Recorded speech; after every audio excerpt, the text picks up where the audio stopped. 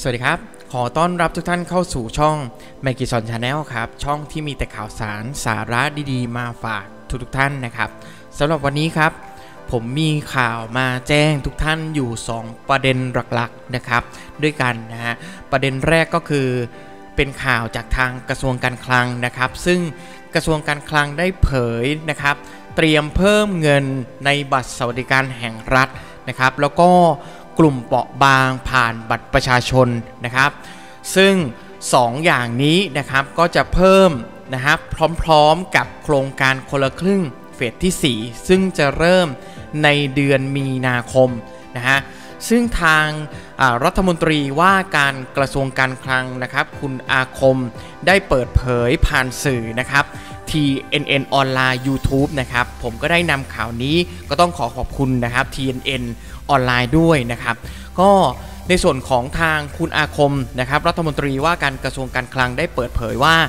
ในกรณีที่มีโครงการคนละครึ่งเฟสที่ 4 นั้นนะครับ ก็เนื่องจากบ้านเราเนี่ยเกิดผลกระทบประชาชนเกิดผลกระทบจากโครงการมาตรการของรัฐ หรือแม้กระทั่งโควิด -19 ก็ตามนะครับ ดังนั้นครับ ผู้ที่ถือบัตรสวัสดิการแห่งรัฐ หรือกลุ่มเปราะบางเนี่ยก็ควรที่จะได้รับสิทธิ์เทียบเท่ากับโครงการคนละครึ่งเช่นเดียวกัน ดังนั้นครับ ทางคุณอาคมก็เลยมีการพูดคุยนะครับ แล้วก็เตรียมที่จะเพิ่มเงินในส่วนของบัตรสวัสดิการแห่งรัฐ และกลุ่มเปราะบาง ผ่านบัตรประชาชนเช่นเดียวกัน และก็จะเริ่มในเดือนมีนาคมพร้อม ๆ กับ โครงการคนละครึ่งเฟสที่ 4 เช่นเดียวกันครับ แต่อย่างไรก็ตามครับ ก็ต้องรอในเรื่องของงบประมาณคงเหลือนะฮะว่ามีเท่าไหร่อย่างไรนะครับ ที่จะใส่ไปในส่วนของบัตรสวัสดิการแห่งรัฐ แล้วก็กลุ่มเปราะบางนะครับ ผ่านบัตรประชาชน นี่ก็เป็นข่าวดีอีกเรื่องหนึ่งนะครับ ส่วนอีกเรื่องหนึ่งครับก็คือในเรื่องของอการที่ทางรัฐบาลเนี่ย ได้มีการโอนเงินนะครับหรือโอนเงินค่าไฟคืนนะครับให้กับประชาชนที่ถือบัตรสวัสดิการแห่งรัฐในเดือนมกราคม ซึ่งทางกรมบัญชีกลางเนี่ยจะโอนเงินในวันที่ 18 มกราคม ในส่วนของค่าไฟและค่าน้ำนะครับ ซึ่งค่าไฟและค่าน้ำเนี่ยสามารถถอนเป็นเงินสดได้นะครับ แล้วก็สะสมในเดือนถัดไปได้เช่นเดียวกันนะครับ ค่าไฟนะครับจะคืนให้ไม่เกิน